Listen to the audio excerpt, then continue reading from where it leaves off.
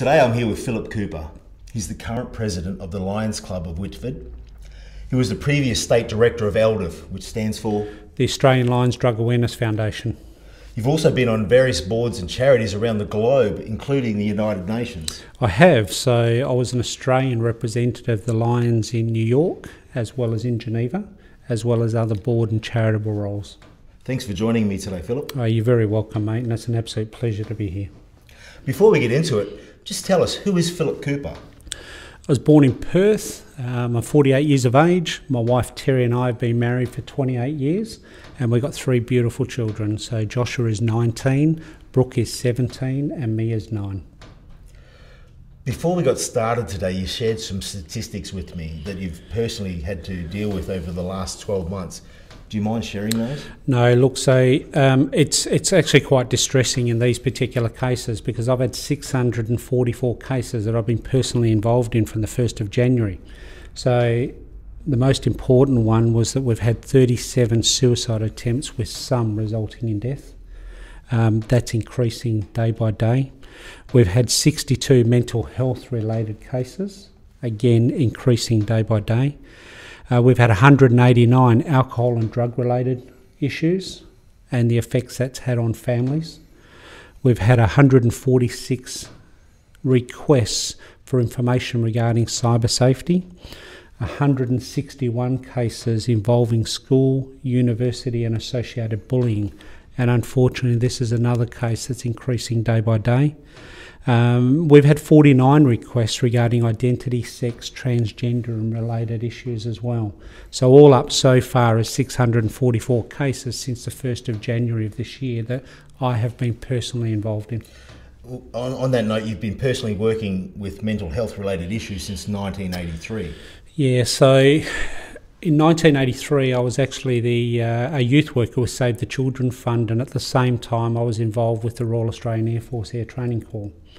It was in my youth where I saw four children uh, between the period of 1983 to 1986 commit suicide. Wow. Um, for those who don't know, part of the reason I started the, the Beacon Project was because I had a friend that reached out to me. I didn't pick up the signs, and I uh, he went home and he suicided. Unfortunately, you've got some personal personal a personal story to tell as well in your home. I do, and it's it's not picking up those signs is probably the most distressing element because to my wife Terry and I, we had a situation in 2016 involving our daughter, who at the time was 15 years and nine months, who attempted to commit suicide. Thank God, and I thank God every day that Brooke was unsuccessful. However, what it showed us is there was a number of things going on the fact that my wife and I were totally unaware of the problems, it was kept in secret, mm-hmm. and the issues that was happening on a day by day basis, whether it be cyberbullying, whether it be trolls on the internet, people getting caught in situations where they're on social media. Um, it was something that was unbeknown to us, and it left our daughter in a position where she thought that was the only way out. What changes have you made in your household since you've you've been, been made aware of the situation? You know what? I've been asked that question many times we have a very good household, we have a very good communication, but what it showed us that we were lacking in different areas.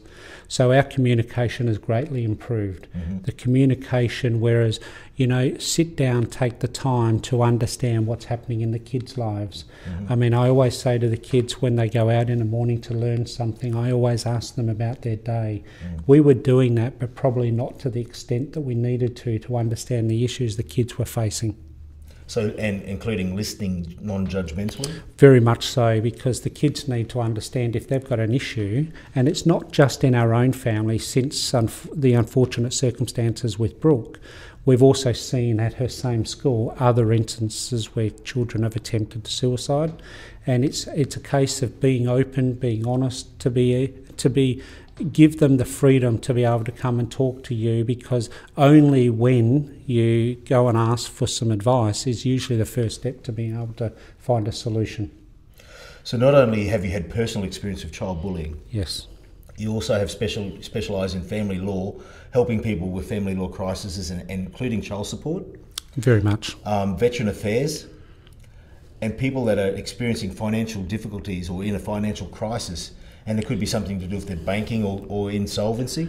So, my corporate experience, I'm involved in the turnaround insolvency reconstruction sector. So, my role is to come in and manage businesses in distress not only are we looking at companies, we're also looking at the directors, we're looking at directors' families, and mental health, mental health related issues are increasing day by day across every industry, every sector, um, across the community in general. It's a situation that myself, my wife, the organisations we're involved in, particularly with Lions and even our local Lions Club, we've been involved in many. We've got issues right now with um, with Department of Communities across WA, and we're involved in a number of issues and initiative with them. Mm. So yes, we've had a lot of experience in that area.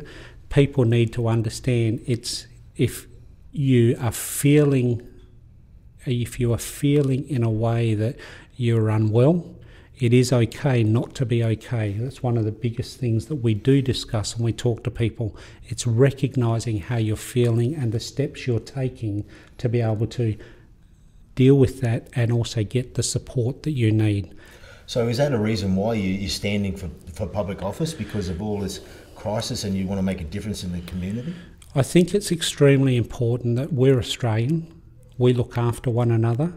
It's mental health, mental health related issues, mental health awareness, it's now starting to become a, it's becoming more widely recognised. Mm. We've got a lot of work to do. We've got a lot of work to do within the community. We've got a lot of work to do to support one another. So yes, that is a very, very important reason why I've decided to put my hand up and stand for public office because at the end of the day, we are one community and we've got to look after one another.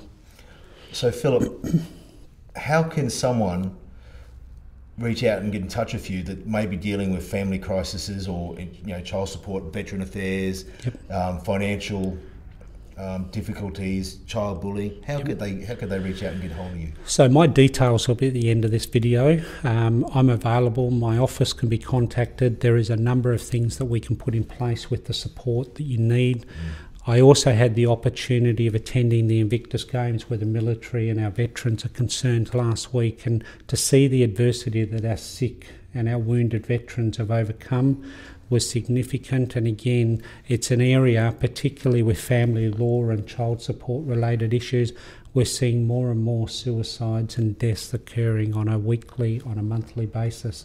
So please acknowledge ask for support ask for assistance, and just help. But it, most in, most important, it's when someone puts their hand up and asks for some support and assistance that you understand what is going on and you help them.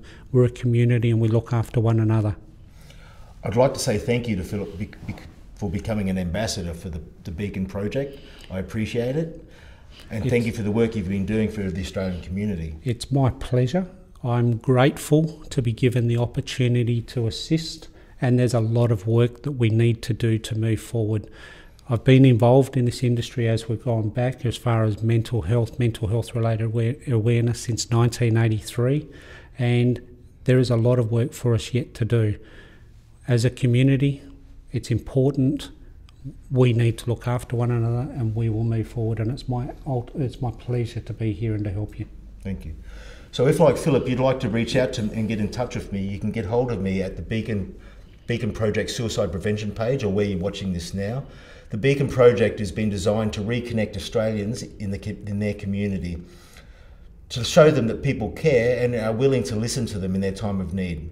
Because I think communication is the key to reducing the significant amount of people that take their own life daily in Australia. Suicide is the leading cause of death for all men 15 to 44 in Australia. Seven people every hour in Australia attempt suicide. That's over 65,000 people in your community that are attempting to take their own life on a daily basis. Again, if you'd like to get in touch with me or be part of the Beacon Project movement, you can get me at the Beacon Project Suicide Prevention page or wherever you're looking at this now. Thank you. Thank you.